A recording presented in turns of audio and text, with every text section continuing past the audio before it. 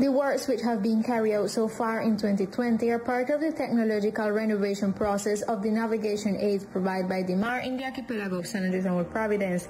Furthermore, they are in accordance with the guidelines established worldwide by the International Association of Marine Aids to Navigation and Lighthouse Authorities. The lighthouses which have a conical cylindrical structure guarantee safety for navigators, protection of the maritime environment, and promote tourism in the department and in the Keys. La Dirección General Marítima the General Maritime Direction, through the Group of Maritime Markings of the Caribbean, is advancing the modernization of the aids of navigation that are in the archipelago of San Andres and Old Providence.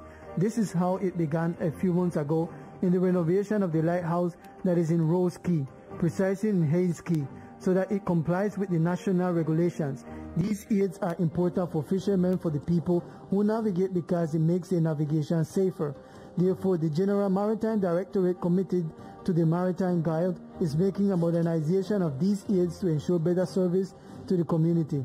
The group of the Maritime Markers and Voyage System of the Caribbean will continue advancing works in the archipelago in the months of November and December in order to maintain in optimal conditions the different aids of navigation, such as lighthouses and buoys that are located in San Andres, Providence, and Ketlina.